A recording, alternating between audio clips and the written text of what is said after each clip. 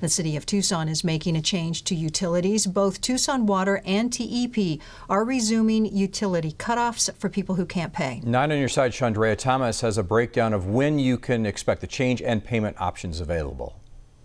Tucson water customers who can't pay their bill will face shutoffs starting next month because the moratorium that's been in place since the start of the pandemic is coming to an end. Today, we have close to 22,000 accounts that are in various stages of delinquency. Earlier this week, Tucson City Mayor Regina Romero announced that Tucson Water would resume shutoffs on accounts for non payment starting on March 15th. At this point, the city is working to notify customers by mail about the change. They're also getting the word out about more than a million dollars in utility bill funding available to those who are struggling financially because of COVID 19. There's the first month, second month, third month notice. It's at the third month that typically we disconnect service. If they don't qualify for the financial assistance, we're simply asking you to please contact us, talk to us, at a minimum, set up a payment plan. Customers do have the option to go into extended payment programs to help get their accounts back into good standing. And the city is also suggesting that customers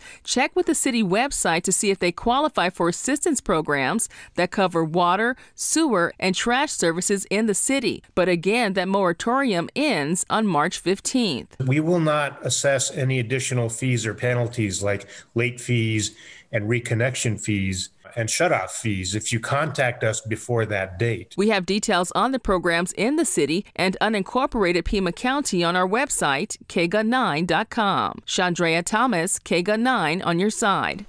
TEP is also resuming cutoffs next month for customers who haven't paid their bills. Payment programs are listed on the